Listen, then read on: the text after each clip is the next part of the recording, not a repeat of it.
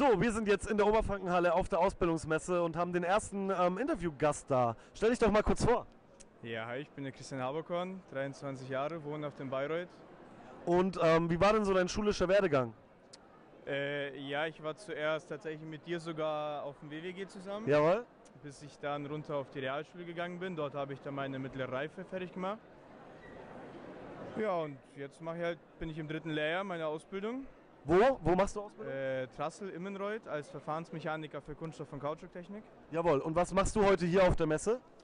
Einfach umschauen, was für Alternativen gibt nach der Ausbildung oder vielleicht sogar neue Ausbildungen. Einfach checken, was geht. Alles klar, dann wünsche ich dir noch viel Spaß. Danke für den äh, Interview. So, wir haben den nächsten Interviewgast. Magst du dich mal kurz vorstellen? Hallo, ich bin äh, Roman. Jawohl. Und was ähm, ist dein schulischer Werdegang? Ich habe mein Abi am GMG gemacht und dann eine Ausbildung bei Cybex hier in Bayreuth. Da arbeite ich jetzt festangestellt. Welche Ausbildung bei Cybex hast du denn gemacht? Groß- und Außenhandel. Jawohl. Und wie lange dauert das? Äh, drei Jahre, man kann aber auch zweieinhalb oder zwei machen. Und wieso hast du dich ähm, erst für die Ausbildung entschieden?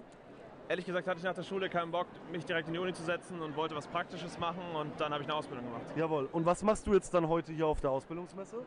Ich schaue einfach mal rum. Ich habe damals auch eine Ausbildung gemacht und ich dachte, ich schaue mal, was es sonst so gibt und ich besuche meine Kollegen von Cybex. Jawohl. Dann vielen Dank.